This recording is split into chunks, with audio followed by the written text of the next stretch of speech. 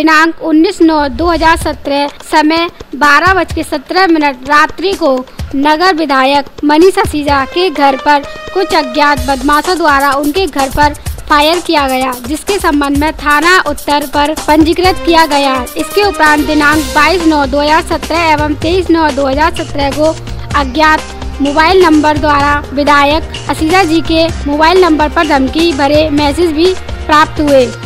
उक्त प्रकरण पर वरिष्ठ पुलिस अधीक्षक महोदय द्वारा तत्काल संज्ञान लेते हुए अपर पुलिस अधीक्षक नगर के निर्देशन में क्षेत्राधिकारी, नगर एवं क्रिमिनल इंटेलिजेंस बिग की एक संयुक्त टीम गठित कर ठोस सूचना संकलन कर आवश्यक कार्रवाई हेतु निर्देशित किया गया था। फिरोजाबाद से सौरभ सिंह की रिपोर्ट एस न्यूज़। मैंने तीस लाख रुपए कर्ज में लिया है दस परसेंट। बैठे यार ले जाके उन्हें जरा वो नाश्ते का सामान उसके सजाओ बगल में में। हो जाओ वहाँ बंदर बंदर का नुकसान करेंगे और भी लोग तो थे साथ में? कौन कौन थे? नाम बताओ। नहीं जैसे ब्याज के किसके पैसे थे आपके पास जो लोग आपको टॉर्चर कर रहे थे बार बार इतना बड़ा कदम उठाना पड़ा आपको।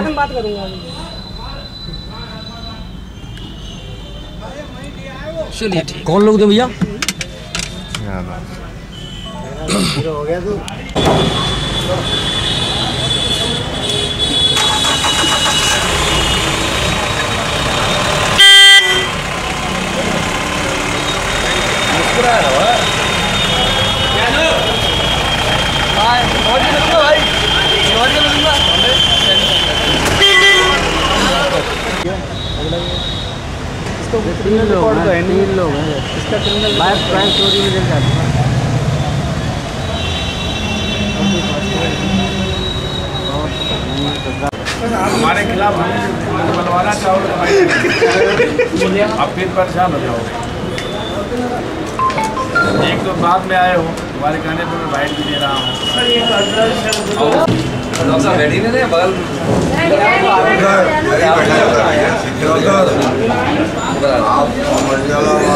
वालों को ज़्यादा क्या मैं बात क्या